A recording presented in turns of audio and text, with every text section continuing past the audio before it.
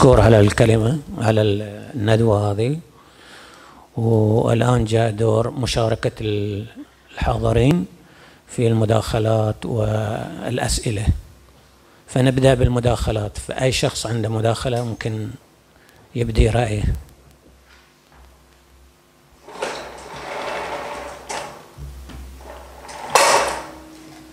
على الرأس.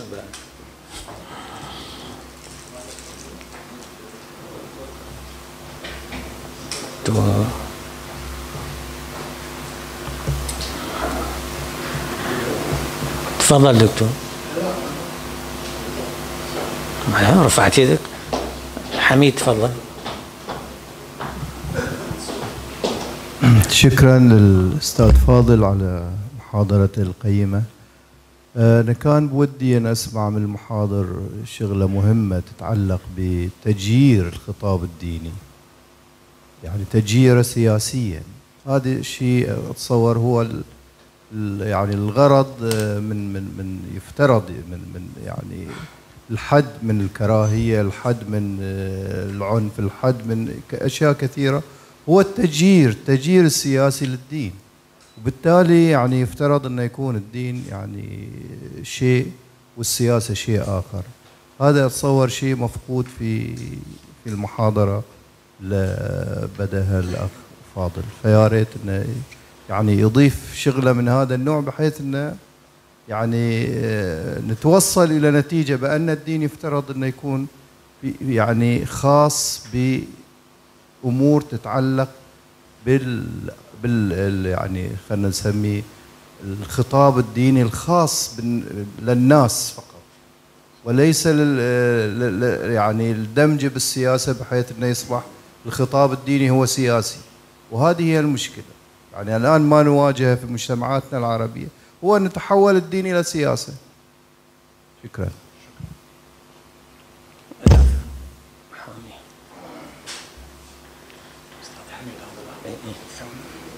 حميد هاي المحامي ناسي اسمه أنا في عندي سؤال يعني عرف اسمك. فيصل خليفة المحامي يعني قلتك يعني خليفه هل هل من الممكن تجديد الخطاب الديني في ظل غياب أي مشروع حضاري لدولنا إحنا العربية؟ هل ممكن بمعزل عن هذا المشروع يعني للدول العربية لأي مشروع حضاري أو تنموي هل من الممكن تجديد الخطاب الديني؟ يعني ك كشيء منعزل عن تطور هاي البلدان اللي هي قاعدة أصلا تتردى وتتخلف هي البلدان العربية. فكيف إحنا ممكن نجدد في خطاب ديني هو ضمن إطار من التخلف ومن التدهور الحضاري أصلا؟ هذا السؤال. الأخ فاضل.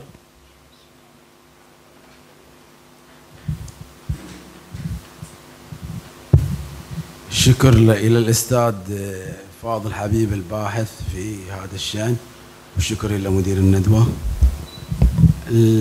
يعني أنا أتساءل هل الآن يعني المفكرين تحديد رجال الدين يعني هل هؤلاء يشبهون ما كانوا أو ما قرأنا عنهم مثل عبد الرحمن الكواكبي جمال الدين الأفغاني محمد عبده يعني كانوا هذول مجددين هل يوجد الآن مجددين؟ هي ما يعني يمكن علي شريعتي ليه بعد بعض الكتابات المختلفة عن العديد من يعني رجالات الدين في عهده أو في زمنه؟ وفي آخرين بعد حاولوا يعني يكتبون في هذا الجانب التجديد. ولكن نلاحظ إن في تراجعات والدليل على ذلك أنا الحين لما بجي للحاضر ما بروح للماضي ما بتكلم عن القرن التاسع عشر. يعني ماذا فعل محمد عبده والكواكبي أو بتكلم عن الآن الأزهر. الأزهر تراجع. يعني لم يص... لم يعد الأزهر يعني مثل ما كان.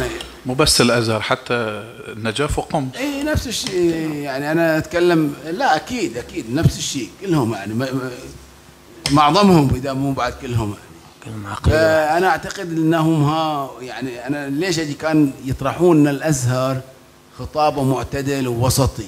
كان دائما هذه الكلمات تردد عن الأزهر إنه هو يعني يمتلك خطاب ديني معتدل وسطي كيف يمتلك خطاب ديني وسطي والمجتمع المصري تغير إلى أصبح مجتمع كله متدين.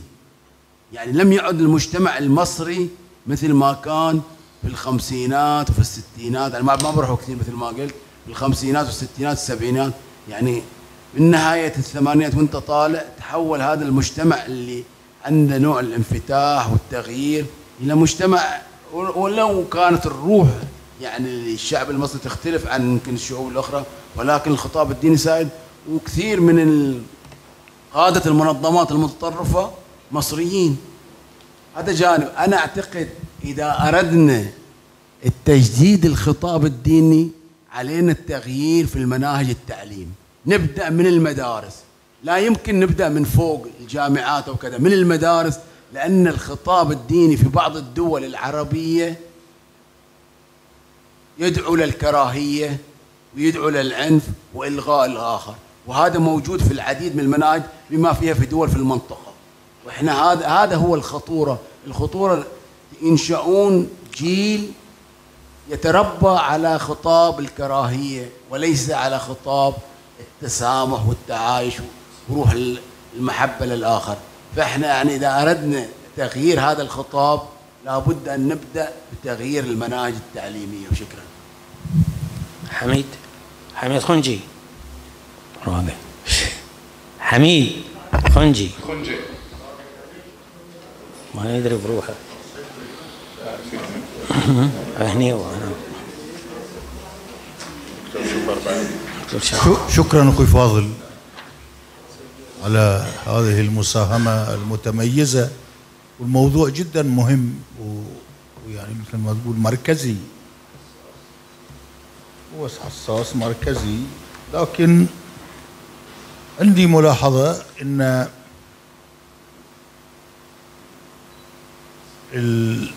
متن الموضوع طريقة طرحه اسمح لي يعني فاضل.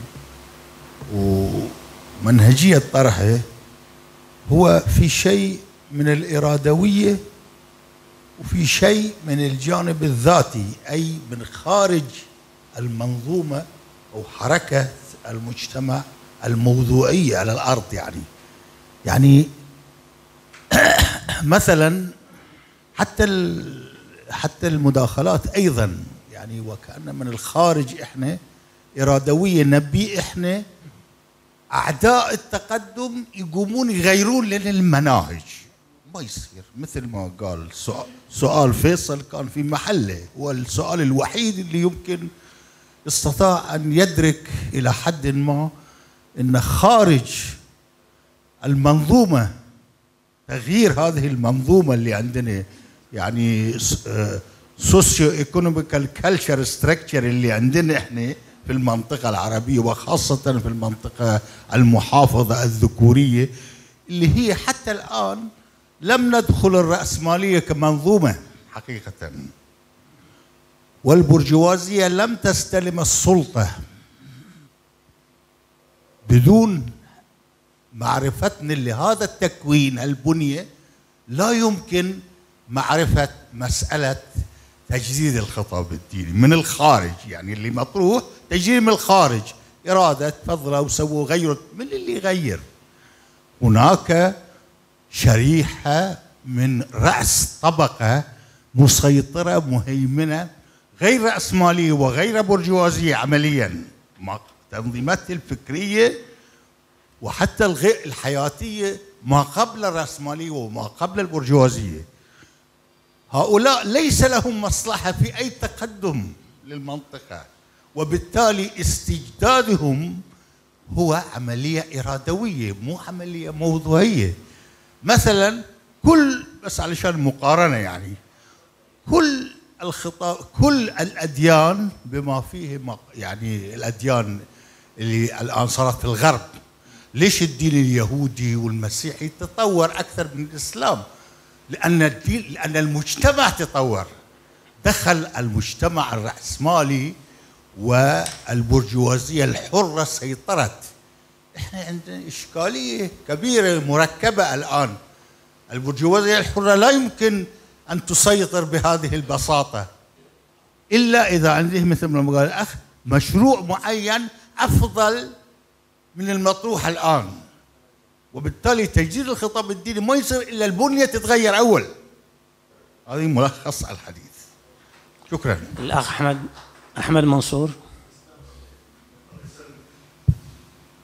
شكرا للمحاضر وشكرا لمدير الندوة. آه، الحقيقة إحنا يعني كأمة يعني صراحة نعاني نعاني معاناة كبيرة من الخطاب الديني. الخطاب الديني الآن آه، هذا الخطاب المتخلف يعني يدعو إلى الاشمئزاز والسأم صراحة. آه، يعني ترى أن الخطاب الديني الشائع هو يعني بشكل عام تقييد تقييد حرية الفكر وحرية الرأي وحرية حتى التصرف. اليوم أو قبل فترة بس تداول فيديو يقول لك هذا الرجل من رجال الدين يقول الجلوس في الطرقات لا يعني غير مشروع وغير داك وفند وسوى وده يعني أنت الحين تتدخل في كل شؤون العالم يعني حتى بين الرجل وزوجته بكرة بيقولون لازم إحنا كرجال دين آه نشوف هذا وش قاعد يصير. يعني الصراحة آه الأمة هذه محتاجة إلى تغيير تغيير جذري. ومثل ما قال حميد يعني وقال الأستاذ فاضل يعني آه يجب تغيير المناهج وأن يعني الأطفال الآن عندنا الأطفال وهم صغار ما يفهم أي شيء من الحياة إلا الدين. يعني تجد يعني ذهنه منغلق بس على الدين وهذا رجل الدين ماذا يعمل؟ ماذا يقول؟ ماذا أفتى؟ وهذه. شكرا. شكرا. الأخ عبد علي.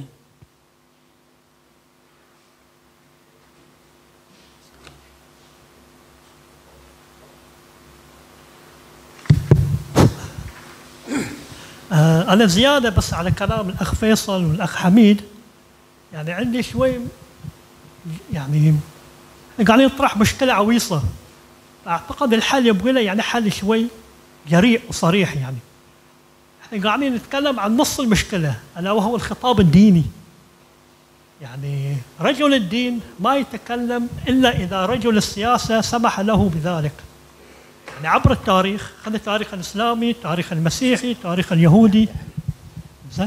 يعني هي مسألة يعني إذا إحنا قدرنا نفصل رجل السياسة عن رجل الدين هنا يكون الدين بخير ورجل السياسة وأمور الناس بتكون بخير. إحنا اللي قاعد نشوفه إن أنا شخصيا مقتنع إن رجل السياسة يعني أو بالأحرى رجل القصر هو الذي خلق رجل الجامع أو رجل الدين عبر التاريخ كامل. في مرحلة يقول له مثلا قول هكذا يقول هكذا. في مرحلة يقول لا تقول هكذا ما يقول هكذا. والشواهد كثيرة. لا لا أمس يعني. فهل إحنا عندنا الجرأة إن إحنا في ضمن التوصيات أو من ضمن الحلول إن يعني نطلب إن رجل السياسة رجل السياسة مو إنه هو في جمعية سياسية أو في حزب سياسي. رجل السياسة من يحكم سواء في أي قطر خاصة إحنا في المجتمعات الشرقية. يعني رجل السياسة مو ما يبغي يهد رجل الدين لأن رجل الدين يوفر له الشرعية. ورجل الدين لما يحصل رجل سياسة بهالنوعية فهو بعد يشتغل حق روحه.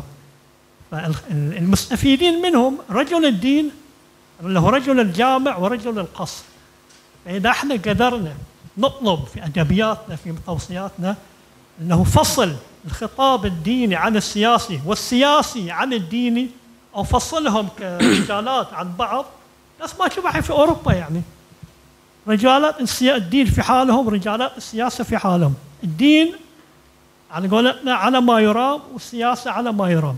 إحنا مشكلتنا في المجتمعات الشرقية. رجل السياسة لا يترك رجل الدين لأنه يوفر له غطاء شرعي ويمده انه هو ظل الله في الأرض. شكرا. دكتور شبر.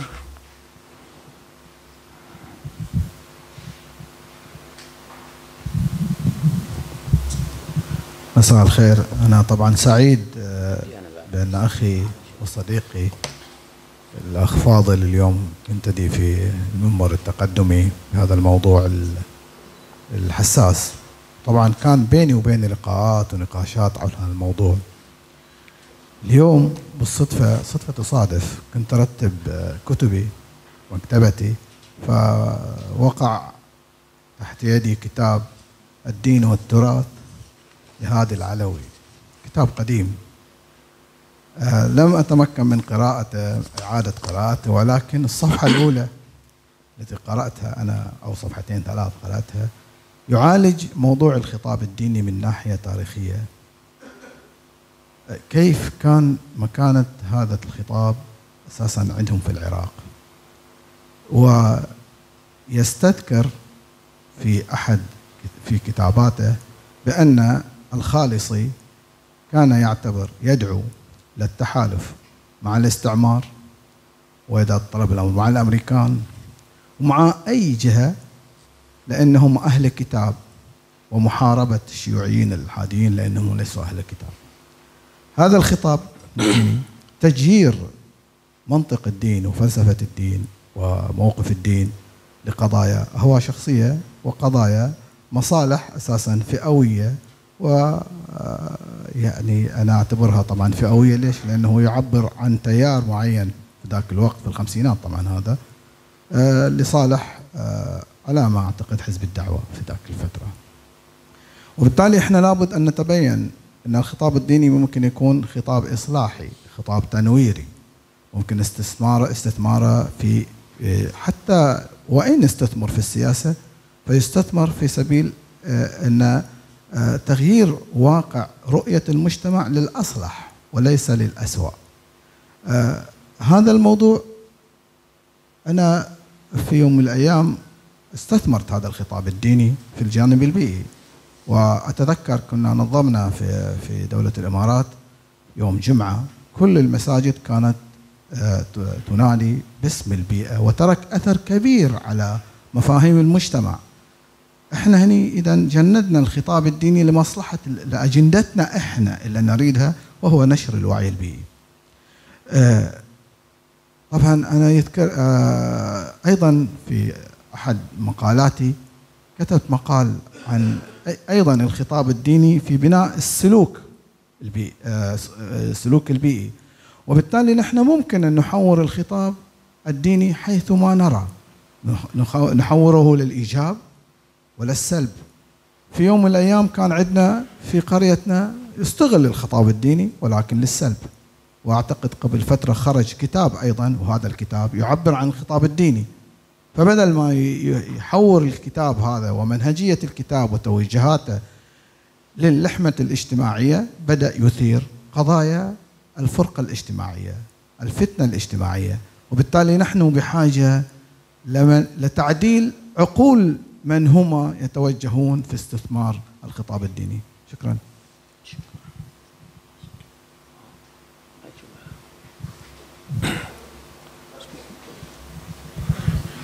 بسم الله الرحمن الرحيم. شكرا أستاذ فاضل.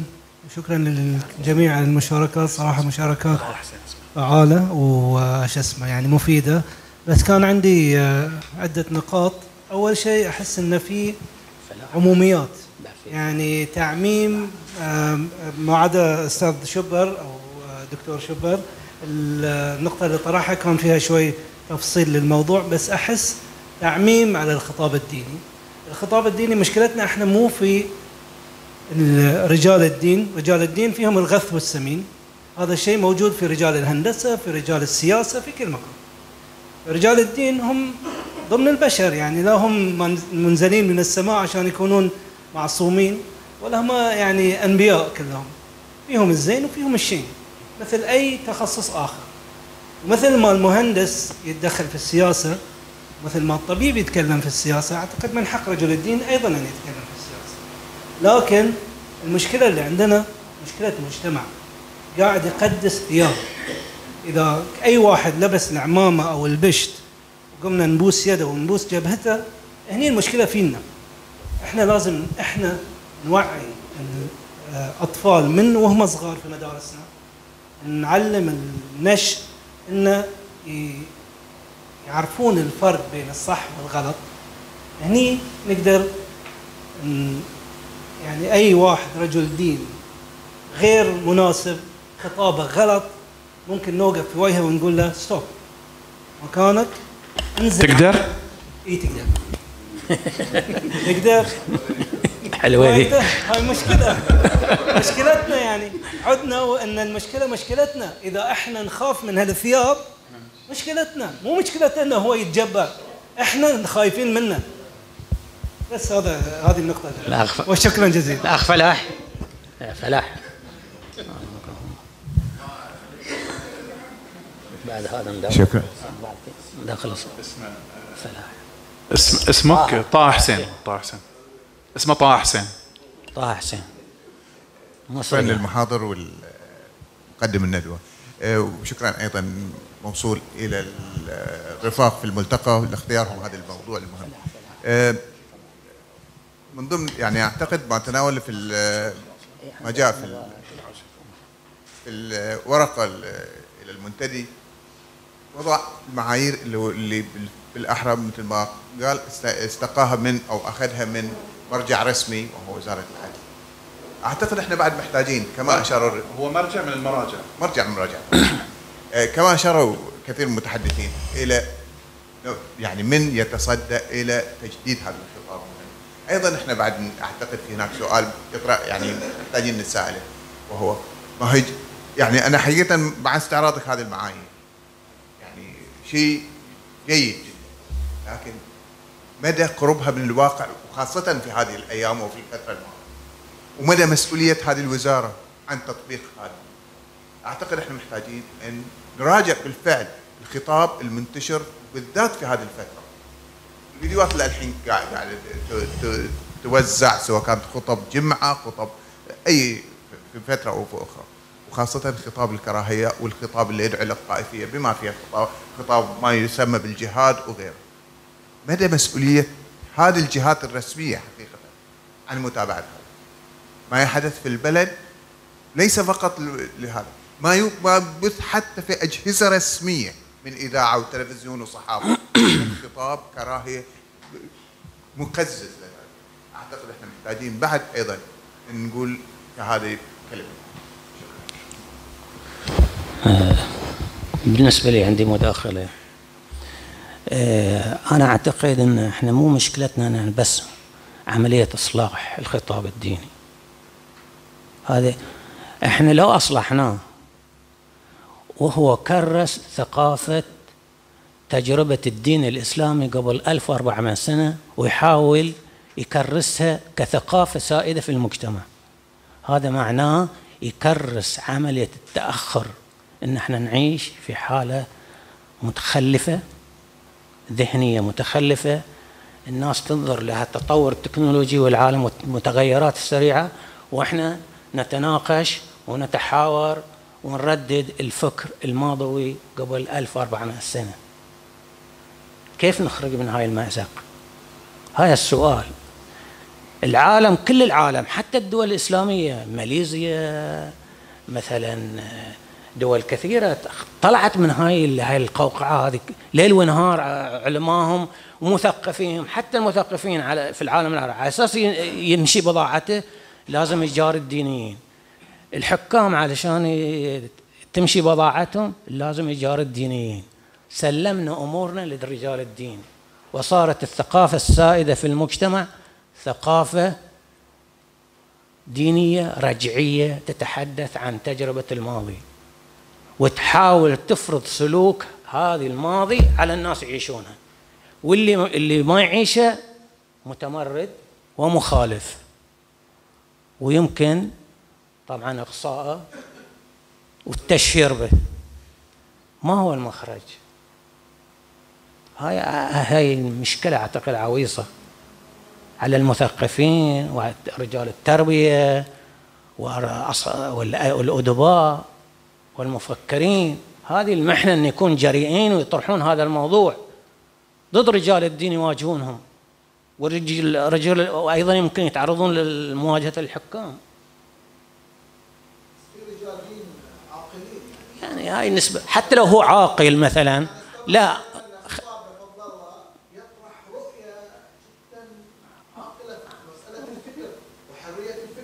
ما عليه. ما لا هو هو يبغي يطور. لكن هذا الشخص مفكر يطور. هل كل هاي المفكرين مثله؟ كلهم يتكلمون عن ماضي الإسلام السابق ويتحاورون في المفكرين اللي عاشوا. خلونا نناقش مجتمعنا اليوم الحاضر. ثورة التكنولوجيا العالمية المدم... لها أخلاقيات ولها ثقافة. لازم إحنا نعيشها. ربطنا بالماضي ورفض خروجنا منه هاي أساس لتخلفنا. شكرا. من يبغى يتكلم؟ بعد عندك عندك نفس؟ تفضل عبد الله تفضل عبد الله بعد من هناك خلينا لحظه شوي عبد جعفر. جعفر وسلمان. أنا أعتقد إحنا في أمام يعني ارضيه لبحث يعني مهم جدا قدمها الأستاذ فاضل. ويحتاج إلى كثير من المماحكة الفكرية وكذا. لكن إحنا نطرح أسئلة ما نطرح مسلمات ولا نطرح خلاصات. هذه الحلقة أنا أعتقد أستفيد من الأستاذ فاضل حتى لي في بحثه في تقديم الدكتوراه يعني. بالتالي أنا عندي سؤال يعني من خلال ما طرح من الأسئلة ربما يرتبط باللي قال الأخ منصور واللي قال حميد والإخوان. يعني ليش التركيز في تصورات على تطوير الخطاب الديني؟ ليش ما نتكلم بأكثر وضوح؟ يعني الآن في لغة في ال في ال يعني في يعني في المجال الثقافي والفكري وكذا تطرح أن تطوير الفكر الديني وليس الخطاب الديني. هناك فرق بين الخطاب الديني والفكر الديني. لأن كثير من المثقفين يحاولون يتحاشون هالمسألة لأن تدخلهم في مسألة التكفير. الثوابت والتغيرات بالتالي أنا أعتقد إذا إحنا أمام يعني يعني بحث يفترض أن الأستاذ فاضل راح يتعب عليه بطريقة أكبر. يفترض أن ندخل إلى الاعماق أكثر حتى أكثر من ما طرحها علي شريعتي في فترة من الفترات. يعني أنا أشوف من باب يعني رصانة أن لا نطرح فقط في التوصيات مثلا أن جوهر الإسلام هو التسامح. هناك آراء في الإسلام. اليوم داعش يطرحون رأيهم وإحنا نشوفهم مو متسامح يستندون على فكر ديني. في ناس غير داعش على فكرة. كفتين يطرحون فكر ويقولون هذا يمثل الإسلام. علينا بمماحكة هذه الرؤية. إذا أردنا أن نتكلم صراحة هل هو يعني الإسلام هو جوهر التسامح بالكامل كما نطرح في العموميات أم كما تطرحه داعش والقوى المتطرفه نقطة أخرى يعني أنا أعتقد من المفيد للبحث هذا أن يعني يقارن بما جرى في ما قبل عصر التنوير وما بعد عصر التنوير. الأفكار اللي طرحت في أوروبا تجاه الكنيسة وممارسات الكنيسة، أنا أعتقد إحنا نعيش واقع يمكن فيه تشابه كثير بما قبل عصر التنوير. الافكار اللي طرحها مارتن لوثر كينج في الإصلاح الديني كانت أكثر عمق، أكثر تجذر في المسيحية نفسها اليهودية. بالتالي أنا أعتقد من هذا الباب على أساس يكون البحث في أكثر إثراء وأكثر وضوح حول الهدف المطلوب شكرا. أحد بعد؟ في؟ جعفر؟ سيد جعفر. بعد في بعد في؟ في الشويخ شكرا للمحاضر يعني ممتازة شنو زمان أمتي؟ قال يوم يأتي على زمان أمتي لا يبقى من الإسلام الا اسمه ولا يبقى من القرآن الا رسمه. مساجدهم اموال لكن خالي من الهدى. فقهاء ذلك الزمان يشير. نعم. شر الفقهاء تحت ظل السماء منهم طلع الفتوى ويروجوا يعني هذا الشيء كان قبل 1400 سنة قال رسول الله. يعني إحنا إحنا قاعدين نضرب على رأسنا. وبعدين من اللي غير ثوابت الدين؟ 1844 ظهر حضرة الباب في الشيراز وآمن ب 400 من علماء الشيخية. كانوا فقهاء قالوا هذا هو حققوا وشافوا الحقيقة الدين. وليس شافوا وحضرة بهاء الله أتى لوحدة الشعوب وأتى إلى شنو؟ إلى إلى إلى صف القلوب. بما أتى حضرة محمد وغيره وغيره كله دليل متسلل. لكن التغيير لازم يجي من شنو؟ من المتغير وليس انه يجي شخص يقول بعدين الديانه البهائيه ما في عالم ما في فرد يحكم. المجموعة بيحكم. الشورى بينتخب كل سنة مرة واحدة بيتغير كل سنة. الرئيس والنائب الرئيس والمحفل. ولكن هذين لا يحكمون على على على ثوابت الدين. تعال أنت سوي كذي سوي كذي. لا الكتاب موجود انظر موجود عندك عقل عندك فهم. مشعلة هذا المفهوم إذا وصل العالم إذا وصل الدين لهذه المرحلة الدين ما في أي مشاكل عندنا ولا عندنا ضرب ولا عندنا مشاكل ولا يصير راعي واحد راعي ويضرب الكل. إحنا نحتاج إلى ثوابت اللي يكون يقومون الش ال ال ال ال الشعوب بفكرهم بذهنهم بقلبهم يفهمون ما هو حقائق. وليس أن نأمر ال- الديانه البهائيه ال- ال- ال- الوحيدة في ايران ليش قاعد يقطعون رأسهم؟ لأن ما عندنا عالم دين. ثلاث أرباع ال- ال- ال- الإيرانيين مريدين لهذا لهذا المبادئ. وليس بالدين مبادئ مبادئ روح العصر. خلاص. هذه كل المبادئ. الحين الهيئه المتحدة قاعد يمشي عليه قاعد كل ال- ال- العالم تساوي حقوق الرجال والنساء ال- الصلح العمومي وكل هذه الأشياء ثوابت العصر. روح العصر. لا يمكن أنت تتغير. إذا أنت تقول لا هذه كافر. هذه نجس. خلاص انتهينا من منظومة العالمية. منظومة عالمية خلاص انتهينا. يعني انت لازم تتقوقع مثل ما تقوقع ال- ال- الدواعش الطالبان. خلاص. لازم نحاربهم نجيب جيش نحاربهم. خلاص. هذا هو المشكلة اللي في العالم السوداء. وأنا أدعوكم في, في أكتوبر بمولود حضرة بهاء الله ب 200 سنة من تاريخه. في أكتوبر إن شاء الله ويكون دعوة عامة. وتشوفون ما هو من هو حضرة بهاء الله اللي أتى بهذا التعاليم اللي حقيقة يحارب الجهل يحارب ال- ال- الفكر المتخلف ويأتي إلى عظمة ال ال الإسلام الحقيقي وليس إسلام ال- اللي إحنا قاعد نشوفه. حقيقي. من هو حضره محمد رسول الله؟ ارتقى إلى هذا. من هو حضره بهاء الله؟ من هو؟ وهذا هو الحقائق. شكرا جزيلا. شكرا. شكرا. بعد بعد في خلاص بس. خلاص. آه، بغيت شيء تقول؟ أنا في في نهاية ال- الندوة حقيقة أشكر الجميع على تحملهم شوي سعة صدرهم تقبل الآراء شوي اللي كانت شوي يمكن يمكن لأول مرة ساعات يعني نطرحها ولكن الهدف في النهاية يعني أنا بأكد على نقطة آه، وسلمان خلاني شوي أفكر موضوع الفكر الديني آه، في النهاية لازم نمارس حقنا في النقد الثقافي. يعني يكون نمسك التسجيل الخطاب الديني ضمن النقد الثقافي. انت قاعد تاخذ خطاب وتحلله وتحاول آه، تشوف الثغرات وتحسن. وشكرا للجميع على آه، الحضور. شكرا. وإحنا نشكر الأخ فاضل حبيب على هاي الندوة ومشاركته الفعالة مع المشاركين في الأسئلة والمداخلات. ونشكركم نشكر حضوركم أيضا وألف سلامه وياكم خلاص